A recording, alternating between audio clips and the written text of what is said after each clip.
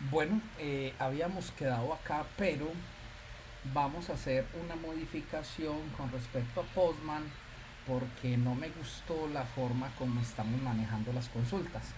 Y lo que hice fue introducir el ambiente de environments. Me explico. Vamos a que es, muy sencillo. Eh, normalmente ustedes aquí la van a tener cuando ejecuten Postman. Aquí dice no environment, pues es lo normal, es por defecto pero vamos a adicionar unos ambientes. Eh, por lo menos si usted mira aquí si usted mira mi lista ya tengo un ambiente que se llama local que es cuando quiero hacer mis consultas en ambiente local voy a correr el proyecto para hacerme entender un poquito mejor. Y si corro mi proyecto web esperemos a que se despliegue en pantalla. Si corremos nuestro proyecto web en este momento vemos que la dirección por la cual estamos saliendo es esperémoslo un tantito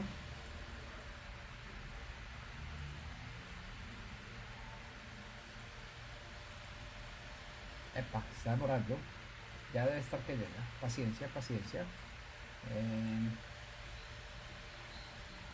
esperemos a que termine aquí este mancito. Epa. No debería moverse tanto. Bueno allá como que sí va a, llegar. Ok mira que estoy saliendo por el puerto eh, https localhost por la 44354 entonces eh, si miramos aquí en Postman eh, mira que en Postman ¿dónde está el Postman? se me ha perdido. Por aquí está aquí está, pasó con Podman, estaba bloqueado. ¿Qué le pasó a Podman? Aquí está. Entonces, eh, si miramos aquí Podman, mira que cambié la URL y la cambié por esta sintaxis. Es eh, doble corchete que abra la palabra URL y APIs. Pero si hacemos la consulta, él está devolviendo la consulta.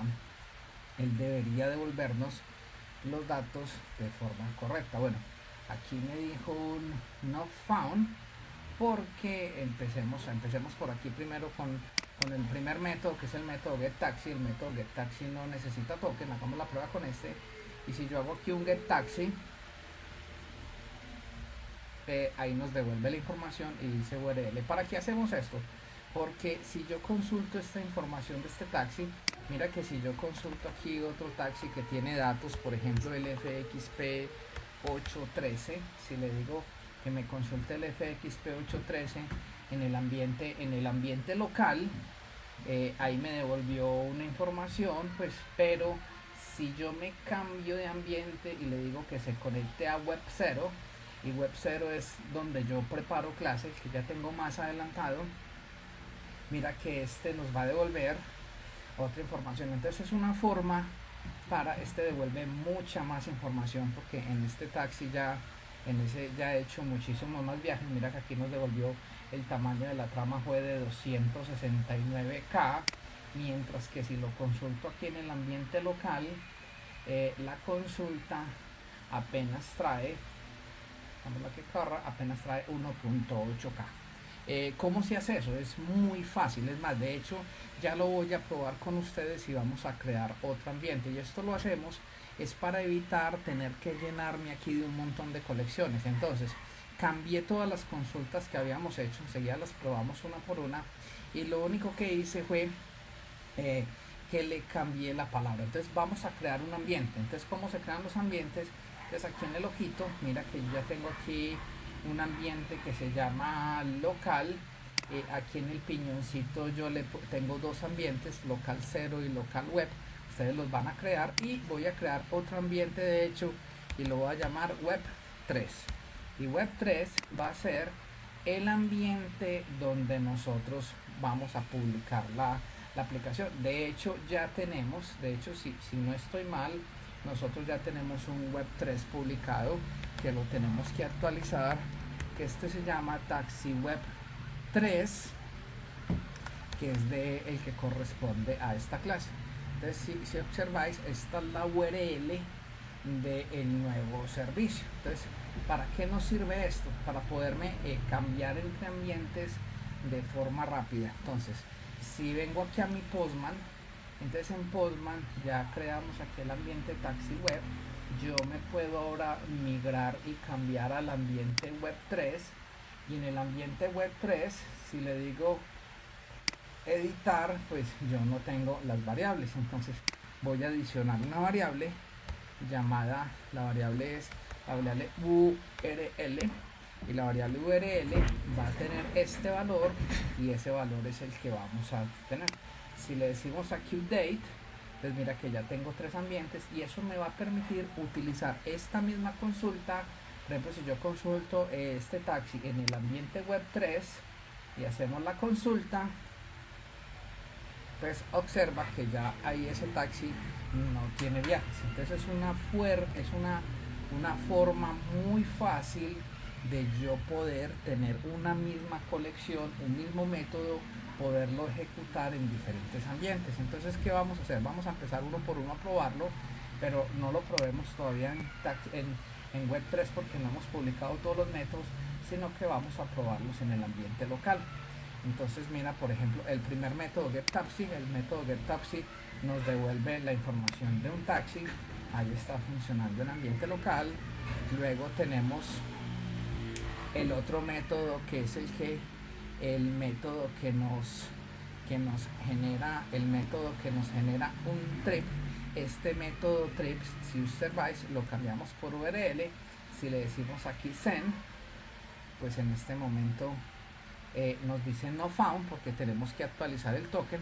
Entonces primero vamos a actualizar el token con el método create token. Simplemente cambiamos aquí la palabra por URL en el ambiente y aquí tenemos nuestro token y este tokencito es el que le vamos a poner aquí al método de post-trace y vamos a probar este ambiente y ahí ya lo tenemos si le decimos aquí send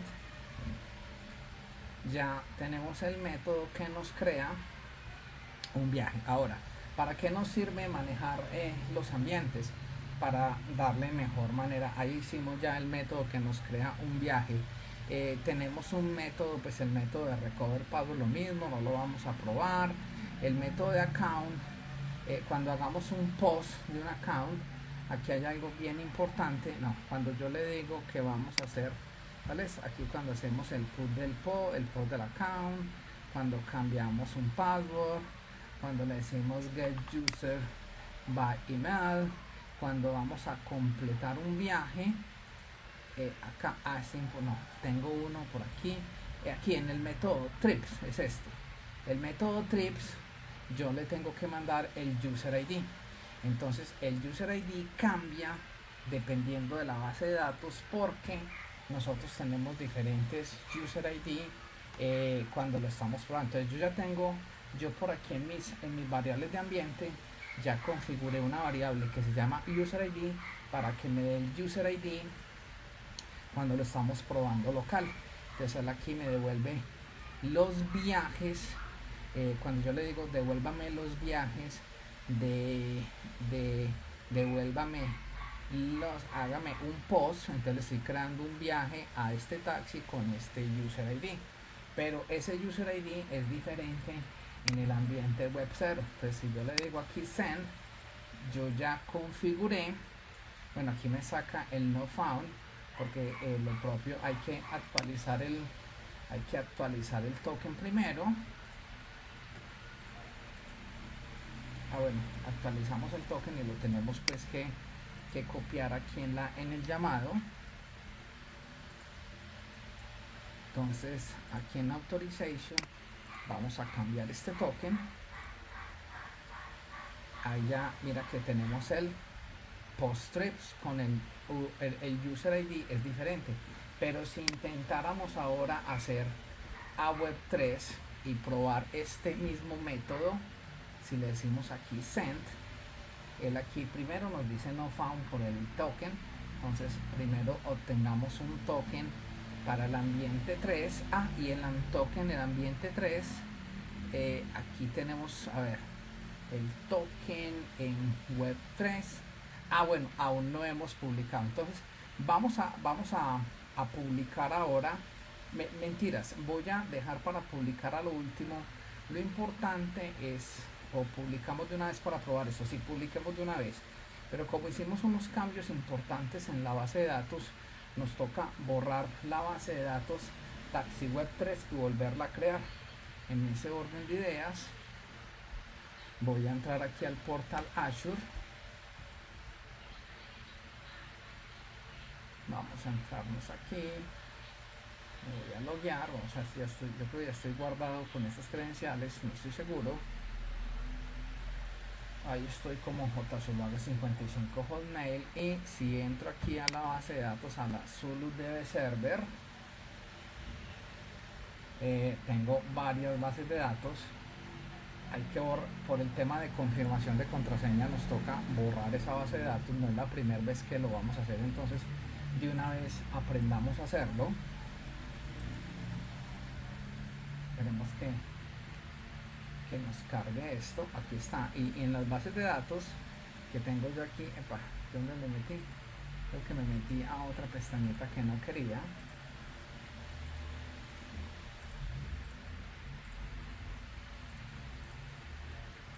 Necesito es ver mis bases de datos.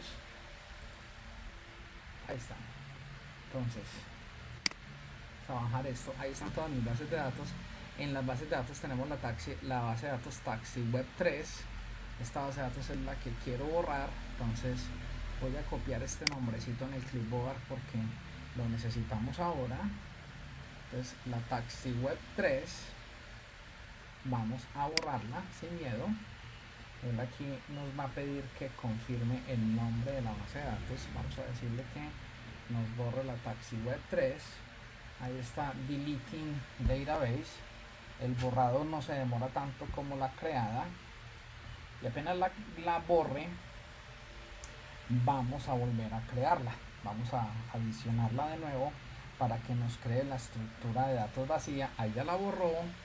Entonces de nuevo le decimos create database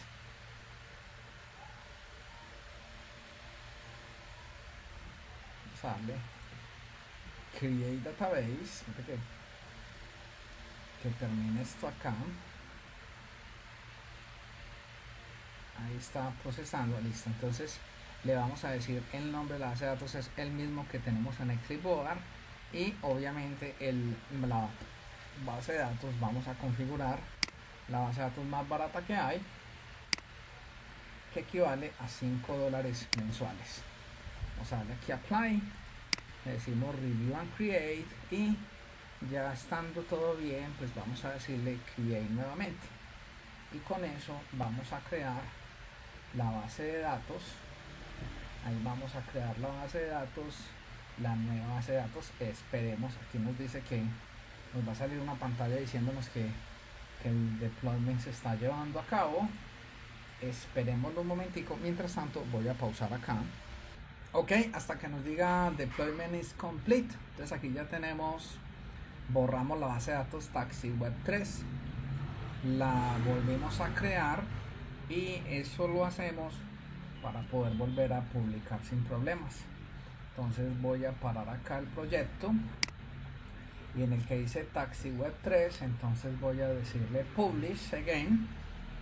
Y vamos a volver a publicar. Y cuando publico debo de decirle que no me publique en el ambiente taxi web 0 sino que me publique en el ambiente Taxi Web 3 porque yo tengo pues los varios perfiles de publicación. Ustedes posiblemente en sus casas solo tengan un perfil de, publica de publicación no hay lío con eso.